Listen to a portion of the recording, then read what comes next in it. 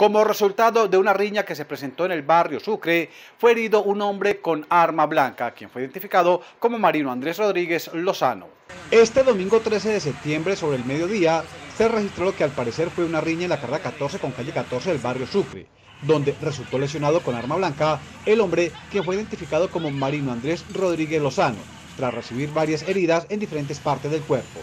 Luego de lo ocurrido, la persona lesionada fue trasladada a un centro de salud donde es atendida y su estado de salud es reservado.